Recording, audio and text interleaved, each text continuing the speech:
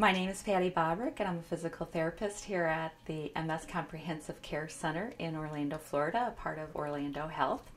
And I'm going to talk to you about rehab intervention for MS. If you're living with MS, uh, you know that there are many challenges that you're faced with. There is the unpredictability and uncertainty of the disease.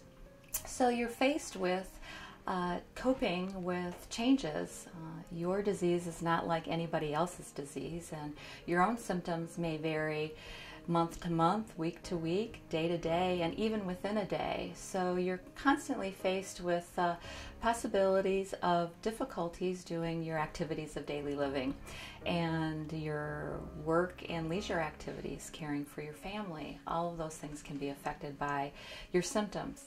So, uh, rehab can be an important part in your overall comprehensive plan for your MS.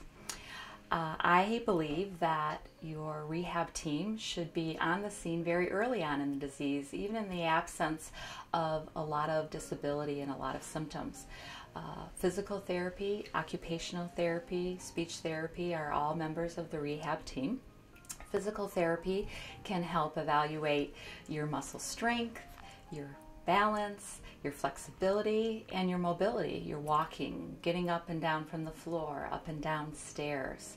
The occupational therapist can assess your fine motor skills and your activities of daily living. How are you getting in and out of the shower? How are you managing to cook your meals? Are you able to do your laundry? And a variety of other things, including uh, leisure activities and working and driving. Your speech pathologist can evaluate your speech, your volume. Do you slur your words? Are you having a hard time being heard at the end of the day? And also can evaluate you for swallowing issues. Uh, both occupational therapy and speech therapy can look at cognition, your thinking skills, your memory, which can also be affected in MS. So uh, the members of your rehab team may come in and out depending on where you're at in your disease process.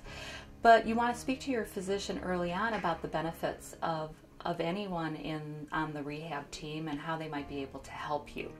You may also need to see your rehab professionals if you've had an exacerbation. So, if there's been a change in your functional status, uh, we want to see you in therapy so that we can help regain all of the functional skills that you're able to. You may be later on in the disease where you're not having exacerbations, but you might be having some progression. We're able to help evaluate you and be able to see changes that happen year to year and problem solve, offer adaptations to what, how you're doing things and strategies to live better. Overall, your entire rehab team is looking for you to live well, healthy, and independent no matter where you are in the disease.